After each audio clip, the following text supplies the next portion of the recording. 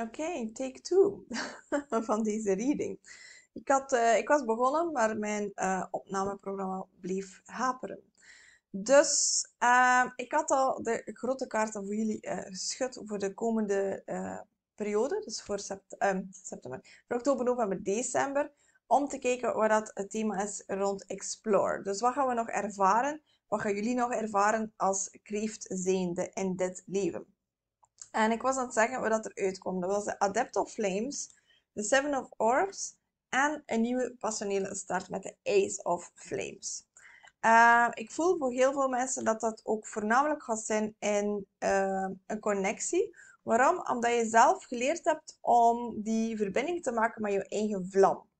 En hoe meer dat je verbinding maakt met je eigen vlam, met je eigen energie, ga je uiteindelijk ook andere kaarsen, zoals hier, andere vlammen, andere zielen, andere energieën kunnen gaan aansteken. En dat gaat dan uiteindelijk ook weer een nieuw passioneel begin vormen in je leven. Het kan zijn, ik voel voor heel veel, veel gaat dat zijn in een relatie, maar ook voor heel veel anderen gaat het zijn in een relatie en bijvoorbeeld in je business.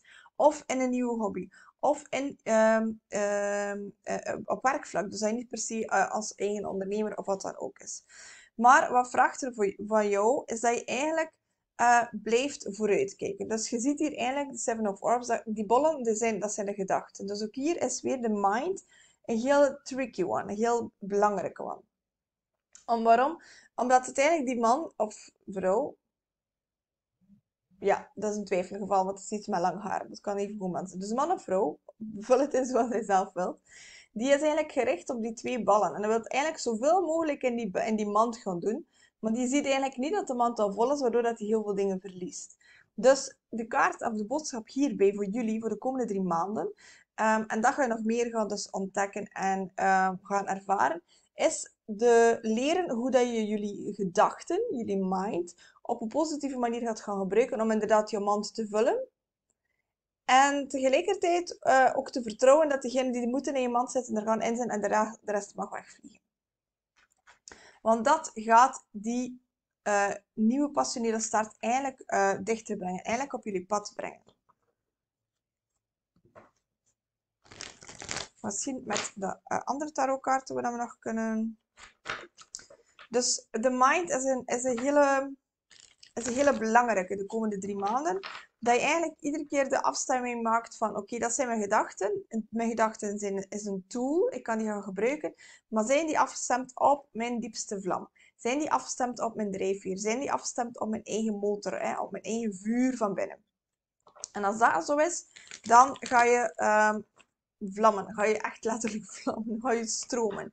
Ga je anderen kunnen aansteken. Ga je van dienst kunnen zijn. Um, en ga je, kun je, weg, ga je kunnen wegstappen eigenlijk van uh, oud hartzeer van um, ontgoochelingen. Nog de kaarten vliegen hier ook goed omhoog. Wacht, hè. ik kan hier eventjes open, mooi openleggen. Ja. En dus hoe meer dat jij uh, gaat kiezen voor je eigen individueel succes, dus zonder egoïstische zin, um, hoe meer dat je ook gaat bereid zijn om verder te kijken dan A en B. Dus we zien hier de Two of Cups. Dat was de eerste die eruit, uh, de Two of Cups. De Two of Pentacles.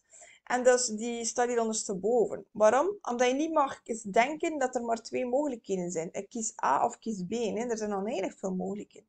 Maar het is aan jou om te kiezen wat hij kiest.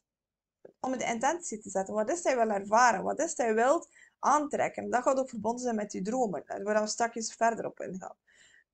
Dus, maar om individueel succes te ervaren, is belangrijk dat je daar los van komt. Dat je eigenlijk wegstapt van het idee dat er maar twee mogelijkheden zijn. En dat is eigenlijk de volgende kaart, is de Four of Pentacles. We hebben eigenlijk al twee extra meer mogelijkheden. Maar tegelijkertijd, de Four of Pentacles heeft te maken, ook te maken met de stabiliteit. Waar vind jij je stabiliteit in? Waar vind je je veiligheid in? En wat je nu altijd het gevoel hebt, dat je vastzit. En dus dat dat ervoor zorgt dat je niet stabiliteit en veiligheid op elk vlak in je leven kan gaan creëren. Um, dat zorgt ervoor dat je veel te veel, en zeker als kreeft, dat is verbonden met het waterelement, um, die zijn echt ook heel veel meer gericht op huis, op die connecties, op die verbinding. Maar zet er u niet op vast. Leer jouw emoties, net zoals je gedachten, op een goede manier te gaan gebruiken, te gaan interpreteren als een tool, als een barometer. En dat gaat ervoor zorgen dat je dan inderdaad dat individueel succes hebt, zodanig dat je kan verder gaan. Maar eigenlijk, de enige barometer, dat is die innerlijke vlam.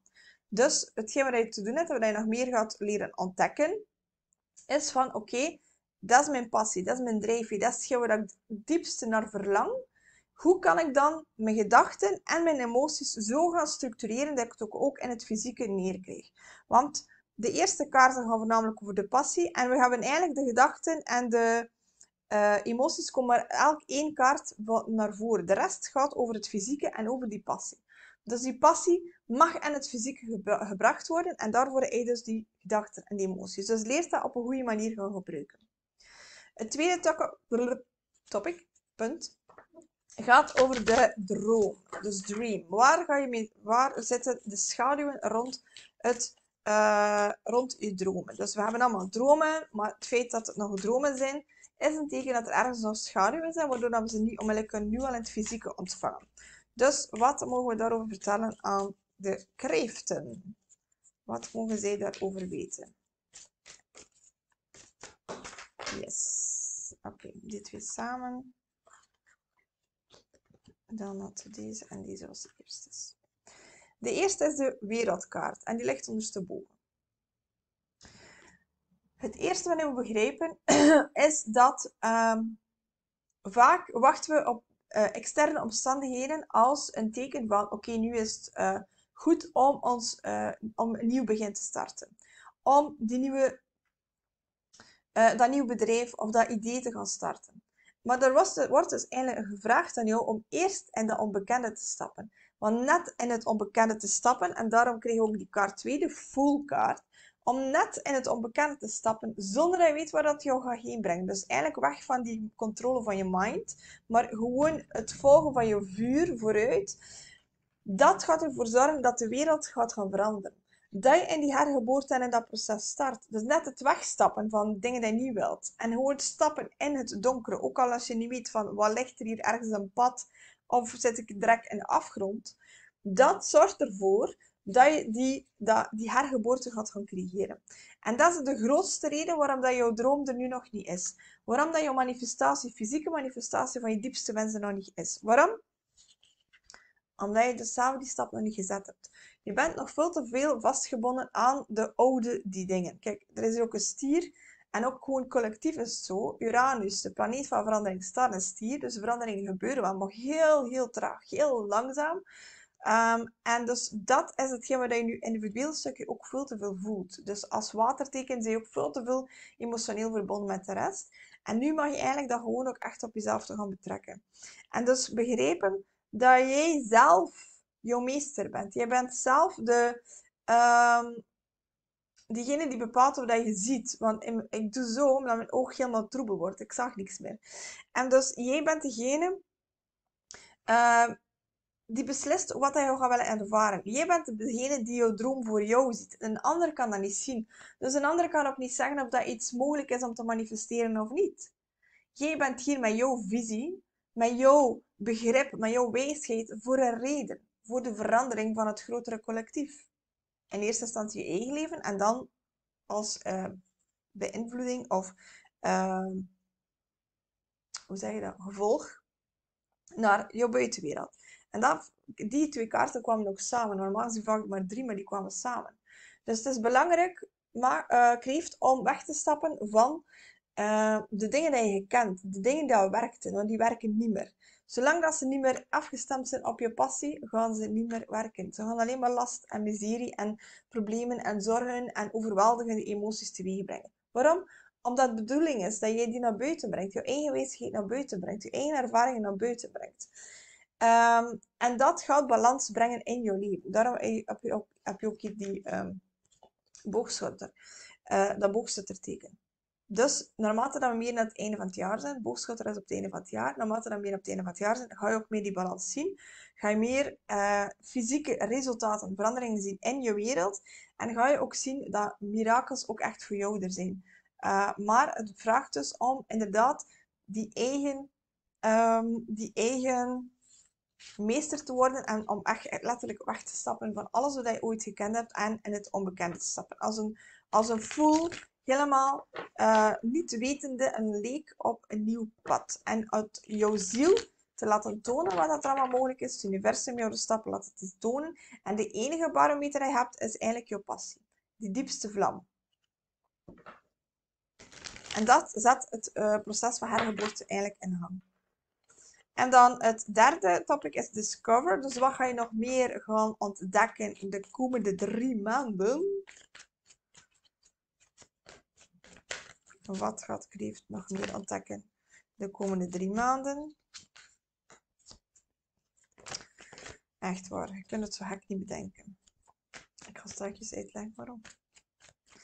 Wat gaat de kreeft nog meer ontdekken de komende drie maanden? Oké, dat is genoeg. Oh, wauw. We hebben maar twee kaarten gekregen, lieve mensen. En het mooie eraan is... Wacht, ik moet hier eventjes schuiven met deze kaart. Deze komt er nog een keer uit op deze manier, maar een ander dek. Maar dat zijn twee dezelfde. Dus het wordt weer bevestigd. Wat ga je nog verder? Dus wat ga je meer ervaren en wat ga je nog meer ontdekken? Daar gaat eigenlijk over hetzelfde. Dat jij de jouw eigen passie. Dus hier, dit, dit teken heeft verbonden met wands, met jouw passie, met het vuur in jezelf. En dus dat ga je nog meer mogen aanwakkeren. Om die eenheid in jezelf te creëren. Zie al die, die staven, die, dat zijn eigenlijk allemaal die vlammen. Al de vlammen in jezelf. Die gaan dan vlammen bij anderen aansteken.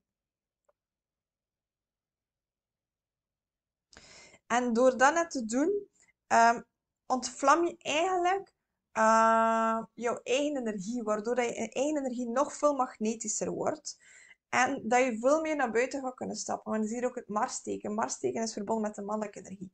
Dus vanuit de verbinding met je vrouwelijke energie, met je passie, ga je veel sneller naar buiten kunnen gaan. Waardoor je inderdaad al die dromen en al die dingen die je wil gaan ervaren, heel snel plots gaat manifesteren in je leven. En een van die dingen is de Ten of Cups. Complete vervulling op elk vlak in je leven alle wensen die je hebt gaan in je leven komen. Misschien daarom niet in de komende drie maanden, maar ze komen er. En dat is hetgeen dat je als diepste, als die adept of flames, als die meester in wording van je passie, van je vuur, van alle elementen in jou, van je eigen energie, dat gaat ervoor zorgen dat je alles in je leven gaat gaan creëren. En door dan die kleuren te kijken, dat doet mij ook denken aan de universele vlammen. Want de universele vlammen zijn heel gemakkelijke tools om op een hele efficiënte manier te leren uh, werken met uh, energie, met je eigen energie, maar ook om de blokkades die zich rechts voordoen, om die dan te gaan. Uh, wacht even, want mijn antivirus plopt op. Um, om die te gaan um, transformeren, zodanig dat eigenlijk de blokkades die er zouden zijn, uh, om die te gaan neutraliseren. En als je dat wilt leren en je voelt dat je er klaar voor bent, je resoneert met mijn energie, dan nodig ik je uit om vanaf volgende week met mij mee aan de slag te gaan. We gaan opnieuw nog eens een ronde doen van het traject uh, zelfrealisatie met de vlammen. Dus vanuit je hart gedaan bewustzijn. Waarin je leert om op een heel efficiënte, moeiteloze manier inzichten te ontvangen rond jezelf, wie dat je bent, wat dat je bedoeld bent hier te komen doen. En je gaat doorheen verschillende uh, zielslessen, verschillende fasen van ascensie, uh, onder mijn ondersteuning. Ik ben live elke week aanwezig via Zoom-sessies. Um, als je dat wenst, kan je ook individuele ondersteuning bij krijgen natuurlijk. Um, en, dat met de bedoeling om nog meer in je kracht te staan. Om nog meer die vrijheid, die diepe liefde, alles wat je wilt, die diepste dromen te gaan manifesteren. Zo, dus als je dat wenst, zou ik zeggen, ga naar de link hieronder. Zorg dat snel jouw, jouw, jouw, jouw inschrijving in orde is. Dan kan je, kan je al beginnen aan de slag gaan. Dan ben je zeker ruim op tijd om mee te doen volgende week dinsdag met de live sessie van de eerste vlam de vlam van jouw uh, vrije wil, de blauwe vlam. Zo, dat was voor deze video. Ik hoop dat je er een aantal inzichten hebt aan gehad. Uh, je kan altijd ook natuurlijk een persoonlijke reading reserveren uh, bij mij of een van mijn collega's waarmee ik nu samenwerk. Um, als je dat wenst en heb je andere vragen, dan hoor ik het ook graag natuurlijk. Ik wens je een fantastische week en tot in de volgende. Dag!